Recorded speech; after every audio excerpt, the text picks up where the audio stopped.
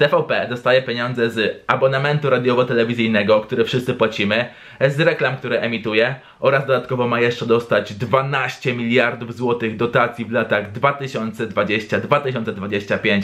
Wiele osób nie zdaje sobie sprawy, ile to jest naprawdę pieniędzy 12 miliardów. Pozwólcie, że wam wytłumaczę.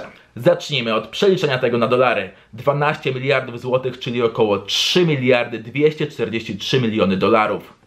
Łączny koszt programu lotów kosmicznych SpaceX Starship, włączając w to budowę rakiet, pensje dla inżynierów, pensje dla astronautów, koszt całkowitego oprogramowania, koszt paliwa oraz wszystko inne, wyniósł do tej pory 3 miliardy.